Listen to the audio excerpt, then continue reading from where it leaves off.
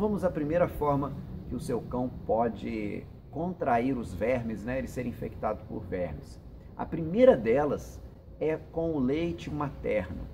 A mãe transmite através do leite ovos e larvas para os filhotes recém-nascidos.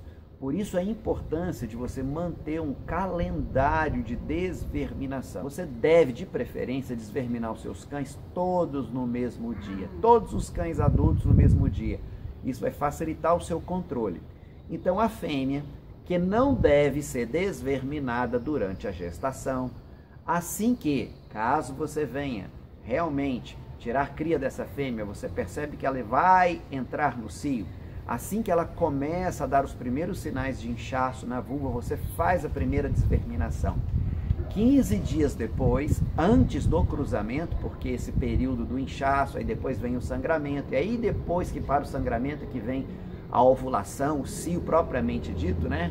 Onde a cachorra vai acasalar, você deve fazer então a desverminação antes do acasalamento. Sendo assim, você vai ter feito uma boa desverminação antes desses 60 dias de gestação.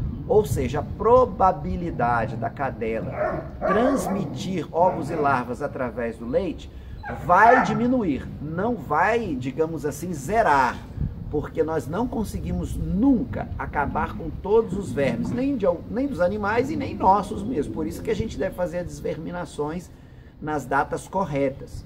Então, faça a desverminação da sua cadela antes dela, digamos, entrar no cio propriamente dito. Assim que ela der os primeiros sinais, você faça a desverminação. Antes do acasalamento, você repita essa desverminação.